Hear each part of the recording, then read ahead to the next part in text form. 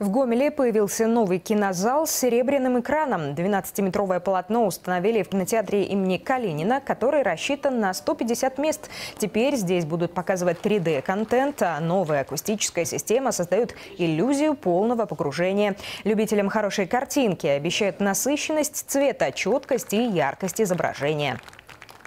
Очень приятно видеть такой интерьер. Он меня поразил. Светлый, современный, который целиком и полностью соответствует кинотеатру такого поколения. И таким э, конструктивно замечательным залом.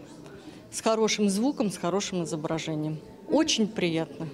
По нашему мнению, нам удалось э, этот проект сделать успешным во всех отношениях. Здесь со современное кинооборудование. Я думаю, нашему зрителям, нашим киноманам это очень понравится. Для премьерного показа выбрали российскую киноленту под названием «Семь ужинов». Гумельские зрители увидели картину первыми. Фильм здесь представили еще до официального релиза.